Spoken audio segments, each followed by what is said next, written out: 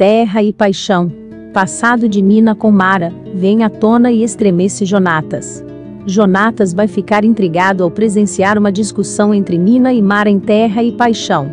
Um passado conturbado entre as duas começará a ser revelado a partir desta terça-feira, 25, na novela das nove da Globo. Elas se encontrarão por acaso na porta da casa do agricultor, e a cena sugerirá que as duas mulheres tiveram algum envolvimento anteriormente. A conversa entre elas começará com Mara contando que foi até lá visitar Mená, e Nina já se mostrará redia. Eu sei muito bem que tipo de visita você faz. A menina tem alguma ideia de quem você é? A caminhoneira partirá para o confronto. Ela gosta de mim, se é o que você quer saber, responderá. Nina continuará.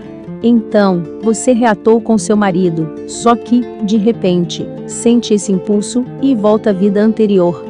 Mara recuará para evitar o confronto.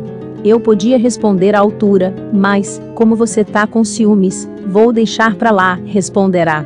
Nesse momento, Jonatas chegará de carro e perceberá um clima estranho. Vocês estão falando em voz alta.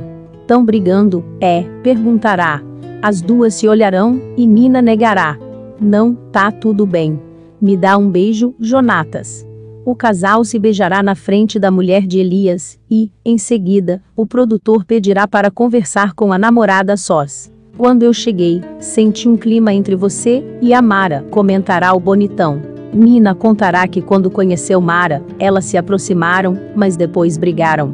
Jonatas ficará curioso sobre o motivo da briga e ela evitará o assunto.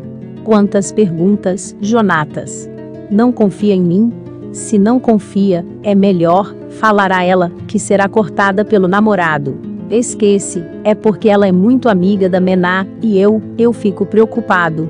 Nina avisará a ele que se tem alguma pergunta, para fazer é melhor falar com a própria irmã. Eu não quero fofoca, completará.